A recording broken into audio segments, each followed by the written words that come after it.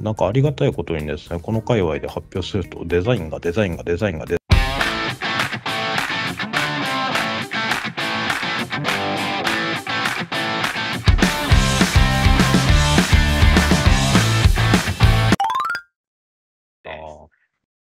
よし、OK です。では、えっ、と、1番手は、アキラさんですね。はい。タイトルが、コンポーネント勉強会の登壇決まったら、コンポーネントの登壇内容を決めるために、コンポーネント勉強してみた。長い。はい。ということで、画面奪ってよろしくお願いいたします。はい。はい。これで見えますかね？うん、OK です。はい、えー音声も問題ないですかね？うん、大丈夫です。はい、すいません。ちょっと最初に確認したいんですけど、あのタイムテーブルこういう風に書いてあるんですけど、40分ぐらいで終わればいいですか？ああ、うん、はい。?Q&A の時間を置いといてっていうことですね。そうですね。はい、じゃあ40分ぐらい喋、えー喋りたいと思います。はい、お願いします。はい、えー、トップバッターになりました、えー、アキラと言います。まあ、なんかいろいろパワーアップスで作っている人です。はい、えー、もう早速行きましょう。よしこだわるくせに割とパパッと流します。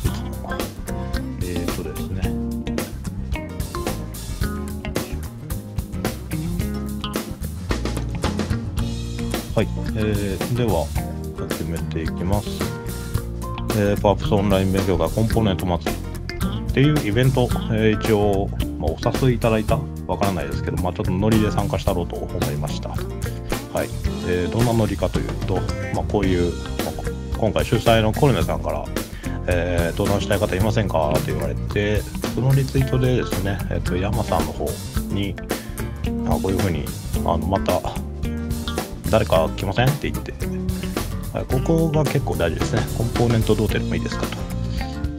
はい、あの全く触ったことがないんですけど、とりあえず今から勉強して、それでもいいかなっていうところで、これ山さんも言ってますね。えっ、と、この話題が出たからでもいいですかと。この話題が出たから。はい。で、まあ、私らしくていいですねと言って、じゃあ出ようかなと思いましたと。はい、つまりですね、あのここが大事ですね。全く初学者から、えっと、そもそも6月14日です。1ヶ月ぐらい前です。えー初学者からコンポーネントっていうのを初めて使ってみて、えっと、どういうふうに思ったか。で、コンポーネントって、じゃあどうやって使うんだろうっていうところの、まあ、少しくらいはデモをやってもいいかなと思っています。時間がたっぷりあるので。はいまあ、ここまで僕は勉強しましたよという、えーただの報告を40分させていただきます。はい、今までは私は割とあのこうやって使いますよとかこういう機能ありますよとか、えー、とどちらかというとお届けする側だったんですけどあのこうやって勉強するんですよとかあのこうやってったら割と滑らかに知識吸収できるんじゃないかなっていう自分のなりの、まあ、私かなり時間がない人間なのでその隙間の時間でもこんだけできますよというのをちょっとお見せできたらいいなとは思っています。はい。はい。で、内容の話です。で、今回、コンポーネント勉強会というところで、え当然主催のコルネさんや、えっ、と、まあ、レジェンドですね、ヒロさん、えー初めて多分登壇の場でご一緒したんじゃないかなと思っています。はい。えーまあ、多分、この辺にいるのかなもう、ちょっとわかるぜになってるんじゃないですかね。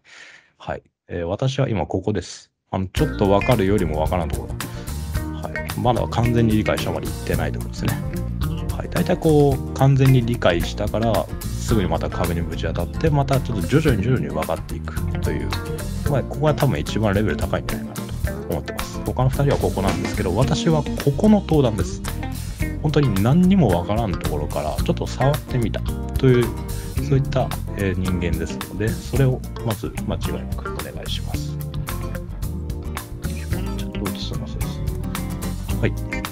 はい。で、えっ、と、勉強してみたという、えっ、と、私の手記をたらたらと独り言を言っていきたいと思います。えーコンポーネントって何やろと。まずここからでした。えーそもそも、まあ後で説明しますが、コンポーネントって、あんまり一人の開発者では使わないのかなという認識があったんですね。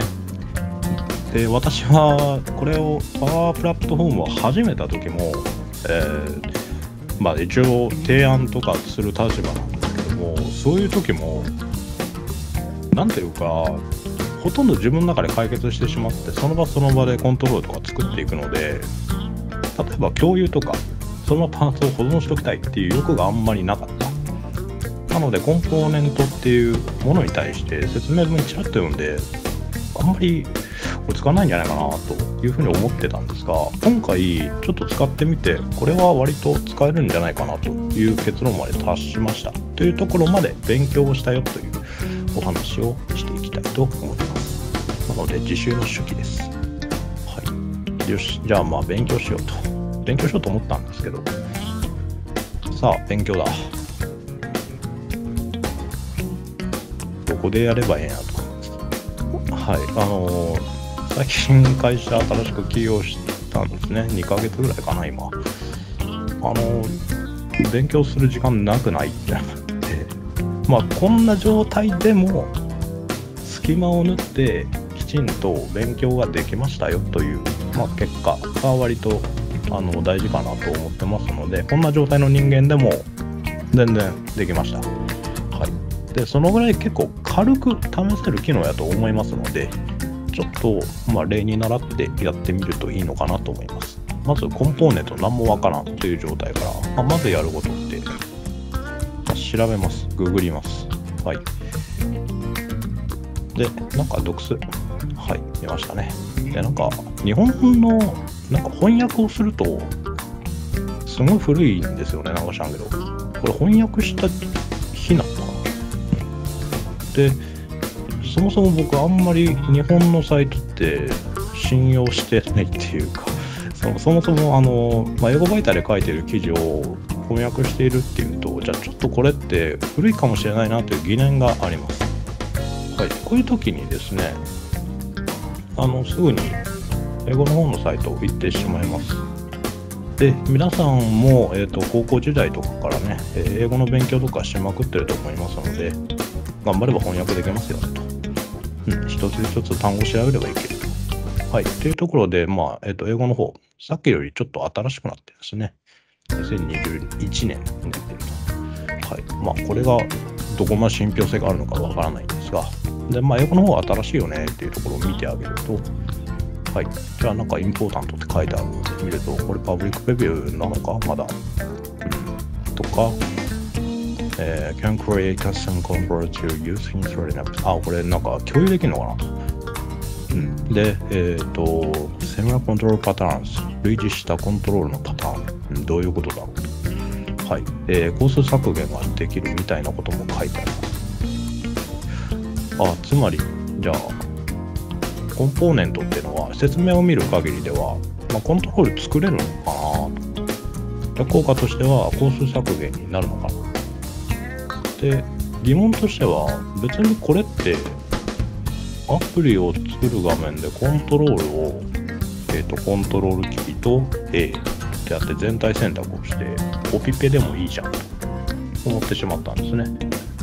この時点でこれって何か必要あるのかという疑問を、えーと、出てきました。グループ化プラスコピペと何が違うと別にこれでいいじゃんと。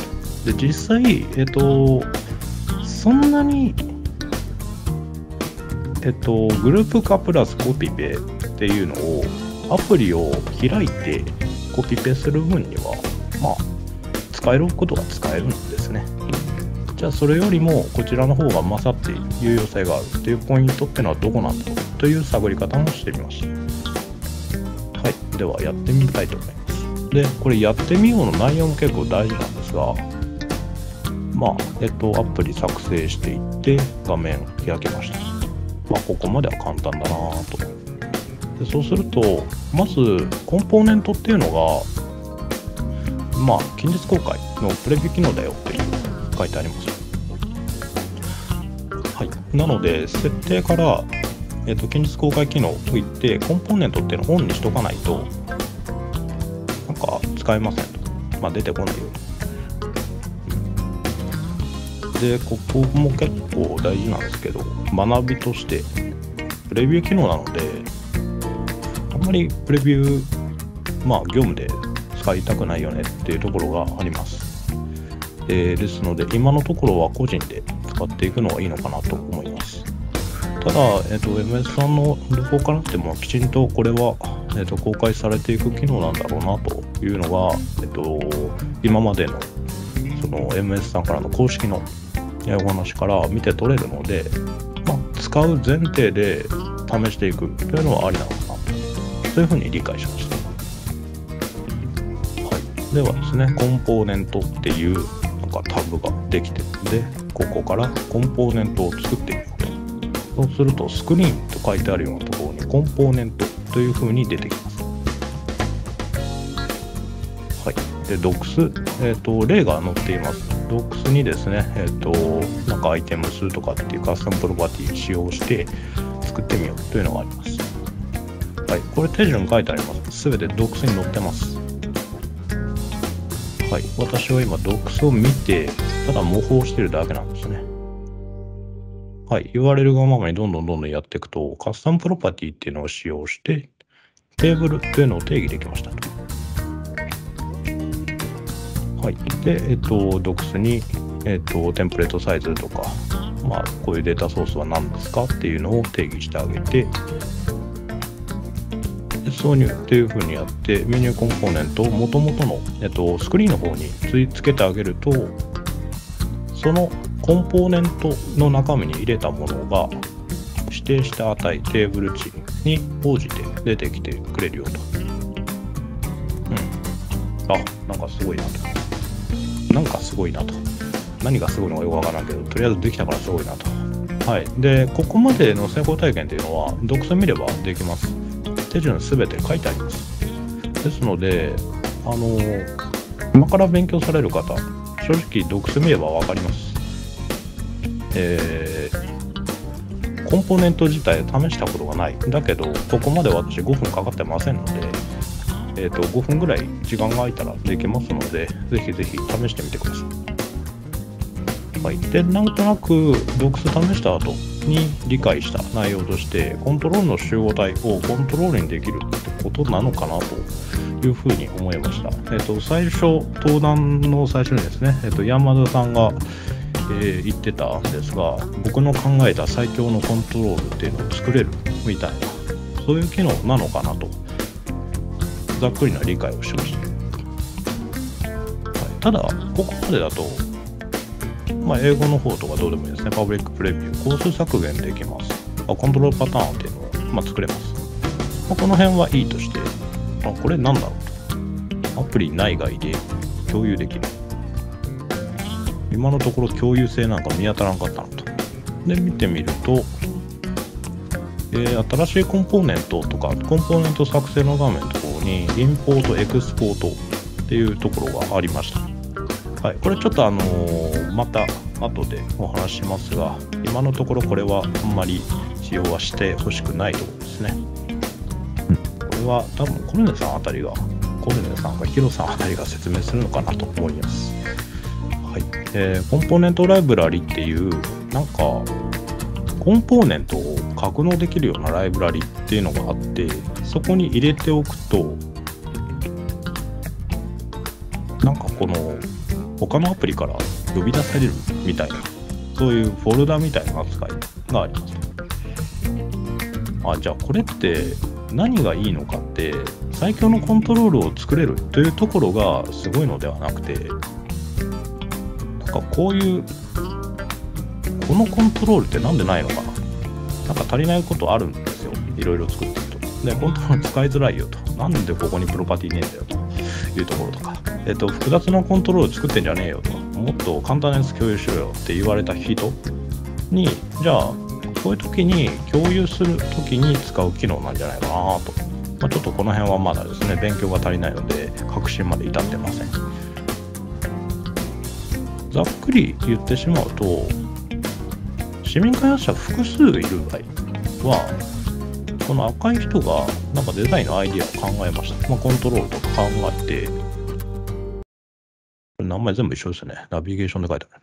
はい。まあなんかこう、フォルダみたいなものに分けてしまって、で、ここにとりあえず、じゃあ例えばヘッダー、フッター、ナビゲーションやったら、ヘッダーに作ったらヘッダーをここに入れときますねと。そういうふうに共有をしていく。デザインアイディアのフォルダみたいな感じで入れていて、これのことをコンポーネントライブラリっていう言ってるのかなと。で、コンポーネントライブラリの、じゃあナビゲーションというところに入れましたよと。で、他の指名開発者が、そのコンポーネントライブラリからアイディアをあ、これ見て、あ、これ使いたいなと思ったやつを取得して、自分のアプリケーションでそれを作っていく。とか、そういう使い方ができるような、まあ、共有性がかなり有用性のある媒体というふうにあの再利用できるものかなというふうに理解しました。はい。で、えっ、と、この共有が簡単簡易になると、開発工数っていうのは削減していくのかなと。そういうふうにと認識しました。ただ、えー、私、えーまあ、サラリーマンの時にですね、えーと、パワーアップスっていうものを初めて出会いまして、えー、その時一人開発者でした。で、私、今、会社作って提案する側になったんですけど、私、今も一人で作ってます。あの、一度でいいから誰かと一緒にアプリ作ってみたいなとはい、思っておりますが、あの論理ボーイですね。はい、えー、そういう人間からすると、これってそんなにあれかなと思ったんですね。あのいらないんじゃないっていうふうに思ったんですけど、ただ、そう考えると、私結構困ることって多いなと思ったんです。そもそもプリケーション、前こういうアイデアで、こういう綺麗なボタン作った。だけど、どのアプリで作ったんだっけなーってなった時に、私の例えばそのアプリケーションのあのアプリ一覧ってこんな感じなんですね。めちゃくちゃですね。なんかオカリナとかありますね。リコーダーとか。このレゴっていうのはあの前児玉さんが公開してたアプリですね。とか人のを試したり、えー、自分でとりあえずこれ作れるかなとか。ノリでいっぱい試してこういうダーッとなってくるんですねこれがかける100ぐらいなのかなっていう風になってくると前思いついたパーツってどのアプリで作ったんだっけなぁと結構思うんですね。結構分かりやすい、例えばスタイリッシュなアプリケーションの、えっと、うん、なんていうか、スタイリッシュなアプリケーションのボタンの、えっと、メニューバーみたいなの作ったよと。どれがどれだったっけなっていう時ってよくあるんですよ。そういう時にもともと言われていたのが、このアプリケーションの、えっと、アプリケーション群をフォルダ分けできたらいいのにとか、今も割と、えっと、ユーザーボイスで上がってたりするんですけど、これはパワーオートメイトも同じですね。パワーオートメイトもフォルダ分けできたらいいのにみたいな、これもユーザーボイスで上がってるんですが、そういう機能がずっと欲しかったはずなんですね。はい、あのどんどんどんどん作っていくと、そういうユーザーボイスに上げたいような、そういう機能、うん、消化っていうんですかね、っていうのが必要になってくるんです。はい。で、そういうところで、あ、じゃあこのコンポーネントライブラリっていうのを使ったら、自分なりにこうフォルダ分けして取っとけるじゃないかと。分かりやすい名前をじゃナビゲーションヘッダーフタみたいな感じで置いといてその中に全部突っ込んでいってフォルダ分けのように、えっと、コンポーネントを入れていって後から使う時に分かりやすくコンポーネントライブラリの名前を見てでその中のこのパーツだというふうに選ぶことができるのではないかなと。はいまあ、これフォルダ分けの仕組みとかをきちんと一緒に作ってあげる方がいいのかなと思いますがあこういうふうに使うんだったら1人でも、えっと、僕みたいにアホみたいなアプリケーションを作ってる人間からすると楽かなというふうに考えました。まあ、もちろん、えーと、コンポーネント1ヶ月ぐらいしか使ってませんので、それが溢れた時のベストプラクティスとかは、えーと、もらってないんですが、えーと、今そう、これ妄想の話ですね。妄想で考えた時に、こういうふうに使ってったら有用性があるんじゃないかなというふうに、えー、と考えました。で、はい。えー、とりあえず、じゃあ、1個でもいいから、よく作るコントロールっていうのを作ってみようかなと間配分が難しいですね。はい。えっ、と、以前、えっ、と、昔々ですね、昔でもないんですかね、えー、なんかサロン向けの予約アプリケーションな。んかありがたいことにですね、この界隈で発表すると、デザインがデザインがデザインがデザインが、すごいデザイン、かっこいいデザイン、綺麗なデザインって言われて、もうなんか機能とか全然知らない人みたいに思われるような、そんな感じなんですけど、あの、その中でもこういうボタン、これボタンなんですね。こういうデザインを、せっかくだから保存してみようかなと思いました。はい、でこれポイントとしてはボタン1つ作るのにちょっとコストかかるんですよあのちょっとあのめんどくさいギミックを仕掛けていたりするので。これコンポーネントにしてみようと。はい。でここからちょっと操作してみようかなと思いまして。しデモをやってちょっとハマったポイントとか見てみようかなと思います。でですねえっ、ー、と先にちょっと説明しておきますとこれ、コンポーネントで作る必要ってあんまりないです。あれ、コロナせい終了しちゃった。あんまりないかなと思っています。ただ、試すのには結構有用かなと思ってますので、ちょっと試してみようかなと思って作ったものです。え、プラスアルファで、今回コンポーネントっていう、かなりこう、なんですか、スコップが狭いところで勉強会をしてますので、もしかしたらコロネさん、ヒロさんのところでデモとかするときに、やっぱこういうふうにやるんですよと、かぶってしまうところがあるかと思いますが、あの、復習がすぐにできるねというふうに前向きに捉えていただけたらなと思います。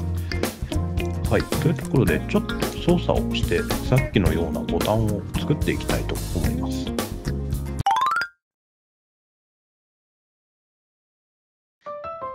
はい、えー、ではですね。でもって実は初めてなんですよ。ドキドキしますね。に、なんか作ります。ション、一つなんか作っちゃいます。でですね、白紙ですので、私、ボタン、ちなみにさっきのボタン、どうやって作ってるかというと、とりあえずスクリーンの上でやってみようと思います。ボタンを一つ用意します。で、隠しとこう。こちらの中で、これはいいや。はい。これボタン作ったら、まあなんか色変えときましょうか。これだと、コンセレクトのボタンにまあ切り替わる仕様になってますので、コピーしていただきます。ストも色をちょっと透過してあげる。そうするとなんかもうこの時点で下の文字が浮いてスタイリッシュっぽく見えるねと。いうふうにいつも作ってます。で、上のボタン。じゃ、ペーストとかやってあげますね。で、このボタンの上のコントロールのボタンと同じテキストを下に仕込んであげて、そうすると上のボタンの文言が変わったら下のボタンも追従するようになりますね。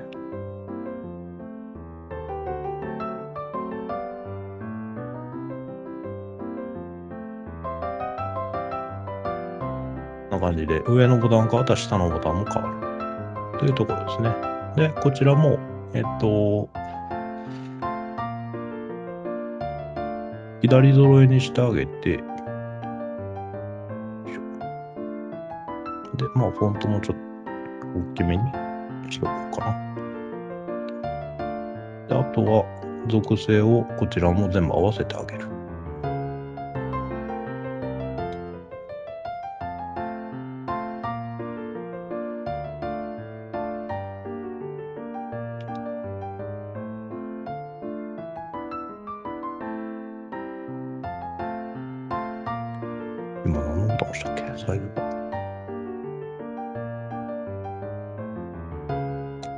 でですね。こちらもまあ左ドラですね。にしてあげて、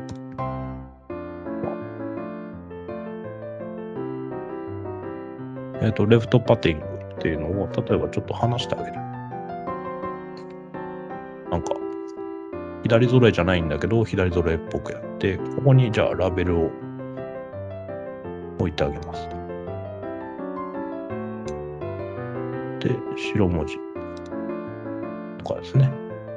やなんか説明とか入れてあげると綺麗かなと思います。で中央どれにしておいて、で、こんなボタンにしてあげて、で、このオンセレクトのところを、今、なんか気持ち悪い色に変わっちゃうので、これを、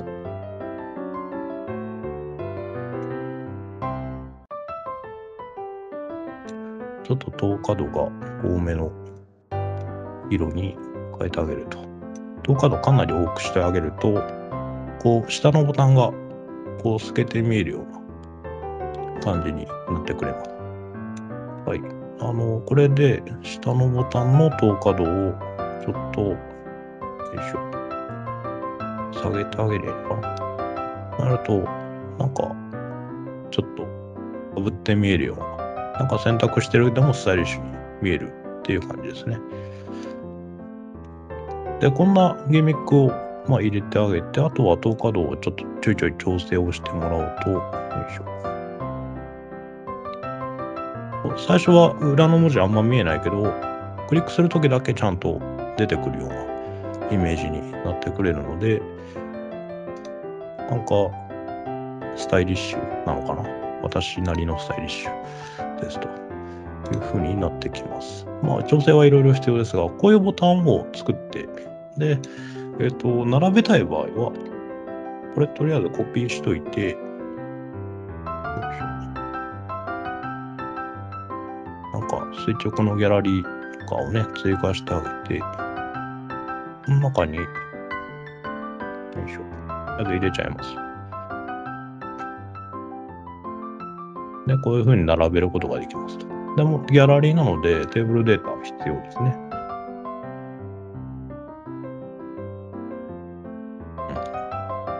うんめんどくさいので適当に作ります。これだけでいいか。よいしょ。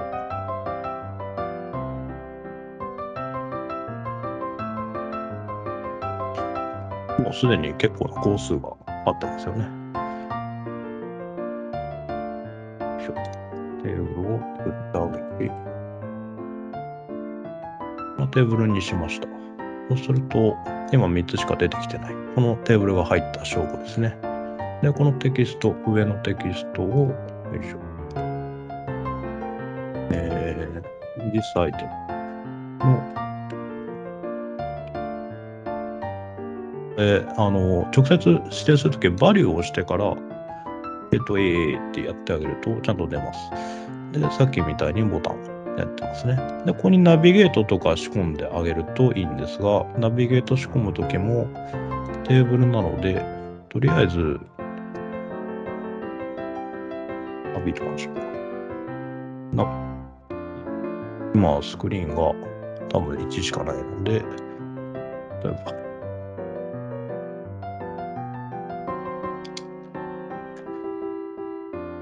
これで一応、この一番上だけ？移動するっぽいなというふうになりますと。で、このナビゲートを、よいしょ、オンセレクトで、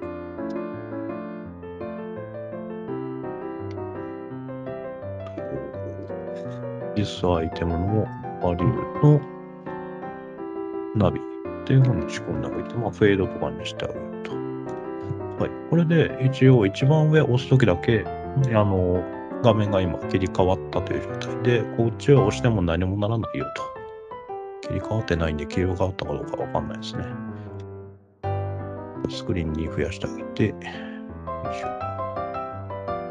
テーブルを、こにしてあげると、一応二つ目、三つ目は何も動かないんですけど、一番上を押すとちゃんとナビゲートすると。つまり、このテーブルを作ってあげれば、こういうものは作れるというのがわかります。ただ、これ、じゃあまた別のアプリで一から作ろうと思うと、今何工程ありましたかね？ものすごいめんどくさいですね。ボタンを2つ重ね追従させて、えー、ラベルを追加し、一番上の、えーと、このボタンのサイズとかを確かめて、えーと、文字サイズを変更、そしてナビゲートを仕込んであげた状態の中で、それを、えーと、テーブルにし、えー、ギャラリーを追加したあげく、それぞれの移行の確認をすると。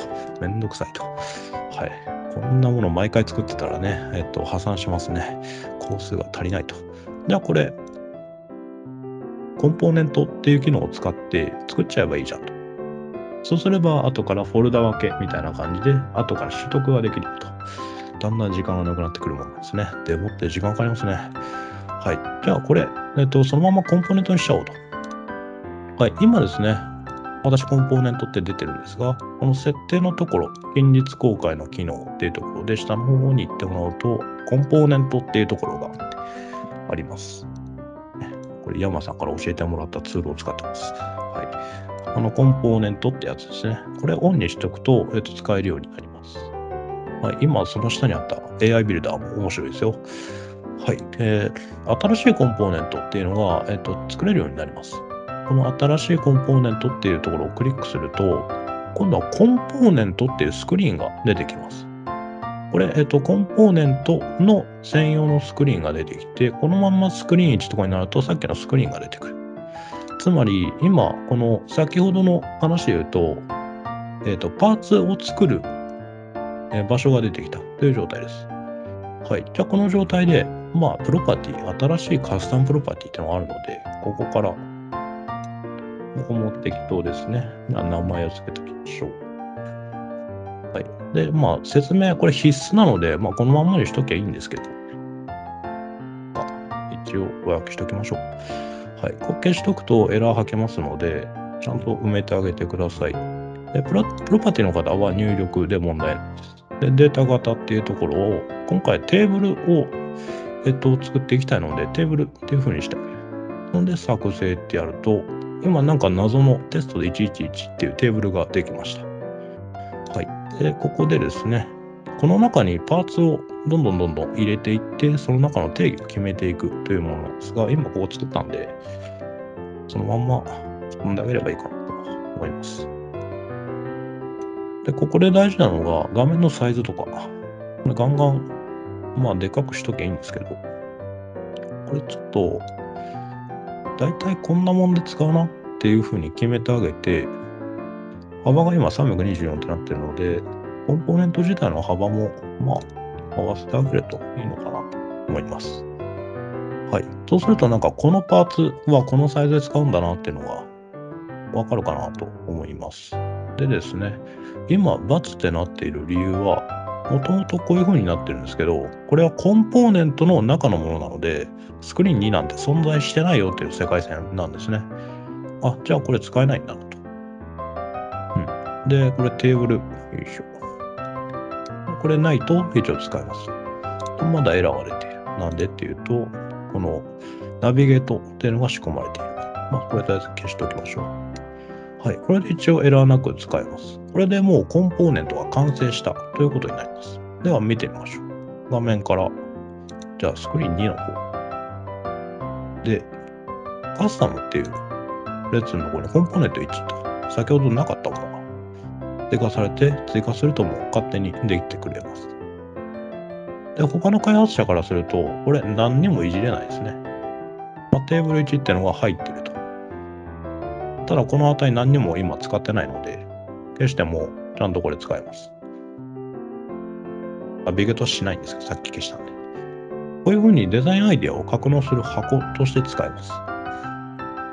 ただ、これだと動かないので、まあ、つまんないよねと。ですので、えっと、まあ、時間の都合もありますので、えっと、これをナビゲートできるように組み込んであげる。そしてテーブルを1から定義して、このテーブルに突っ込んだ時にこの値が変わるようにする。というふうに、そういうところまでやってみたいと思います。はい。コンポーネントに戻ります。今だと、このテーブルの定義、サンプルストリングフィールドというものと、サンプルナンバーフィールドというのと、サンプルブリアンフィールドというものが入っています。はい。この辺いらない。よいしょ。とりあえず、Java。うん。っていいよ。変数とかね、関数ってね。てか、センスが出ますよね。txt という、すごい txt テストでしょうかな。すごいね、センスがない感じの名前を付けています。はい。ここに、えっと、とりあえず、テキスト型だよというふうに、えっと、指定しておきます。はい。これだけで問題ないです。ただ、ナビゲート仕込みたいので、ナビゲート、じゃあ、ナビストというふうに置いておきます。はい。で、ちょいちょいと。これテキスト型になってしまうので、まあこれどうしたらいいんだろうと。ここで私壁にちょっとぶつかりました。で、これ文言でスクリーン名ってどうやって指定すりゃいいんだと。これって、なんか、なんかスクリーン名、画面プロパティをなんか仮に置いとくってどうやったらいいんだろうと壁にぶつかったんですが、まあとりあえず DXT だけでいいやと。ここからで後で考えようというふうにしました。こういうテーブルを仕込んでおいて、で、えっと、もともとこれ適当に手動で作ったテーブルでした。ですが今は仮にテスト111かな？なんなんですけど、テスト111かな？テスト111っていうテーブルがあるので、ここに動かない。あ、そっか。えっと、コンポーネント名から呼び出してるのかな。コンポーネント1のリスト111というやつを入れてあげると、まあ、一応入ってくれます。これエラーで取るのは this item となっているわけですね。じゃあこれ this item ボタンの、えっと、名前なので this item の何だったっけなんかすごいダッサい名前つけましたね。テーブルか。これでいいか。うん。TXE テストが。ダサいですね。はい。TXE テストというの。じゃあ、ラベルの方も、まあ、これも TXT テスト。どっちも TXT テストとなりました。これでもう一度新しい画面を見てみます。そうすると、えっ、ー、と、しょっぱな、プロパティの、先ほどのカスタムプロパティのしょっぱなが、こういう変なテーブルが入ってます。これに順次でテーブル作ればいいんやな。ここに、よいしょ。あげると、ちゃんとテスト1と反映してくれますね。ギャラリーなのに、テーブルを提示するだけ。他のパーツ一切触らない。テーブルを提示するだけで、こういうボタンが作れるようになります。あ、いいね。は、ナビゲートがないと、どうしようもないじゃんと。はい。ああと5分ぐらいで終わって、質問はあんまりさせない方向でいこうかな。はい。で、えっ、ー、と、ナビゲートを仕込むっていうことをやらなきゃいけないので、じゃあナビゲートってそもそもテーブルの中で指定してってことは、まあ私が観測した範囲でできなかったので、あ、じゃあ、プロパティもう一個作ったろうと。そうするとデータ型の中に画面っていうのがあるんですね。じゃあ、ここでナビ、ごめんなさい。ナビ P。で、ここ画面っていう風にしてもらって作成しとく。はい。で、これやっとくと、このナビ P っていうのを、とりあえず、この中で、えっと、参照しとこう。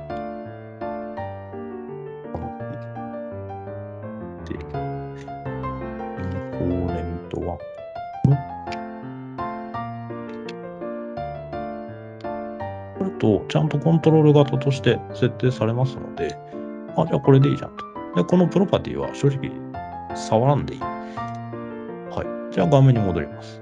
で、この中で変な、またこれが出てくるので、この時点で形式を、えっと、コントロール型画面というふうに設定されます。じゃあこれでスクリーン1。でやってあげて、よいしょ。ペースト1。っていうふうにやってあげる。で、えっと、これもう一個だけ作っておきます。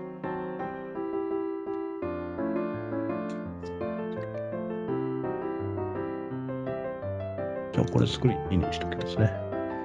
で、テスト2とします。このテーブルができました。で、えっ、と、スクリーン1の方、邪魔なもんは全部消しておきます。で、コンポーネント、同じコンポーネントを仕込んであげます。はい、この状態で触ってあげると、テスト1をやるとスクリーン1に、あ、場所一緒だな。いや、ラベルで作っとこうか。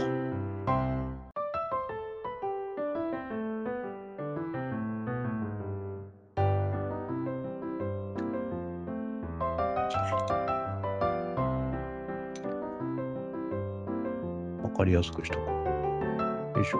動かない。動かない。なんで？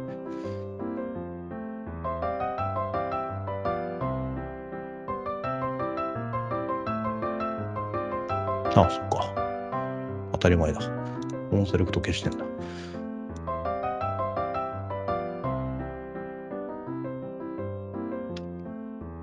で、えーっと、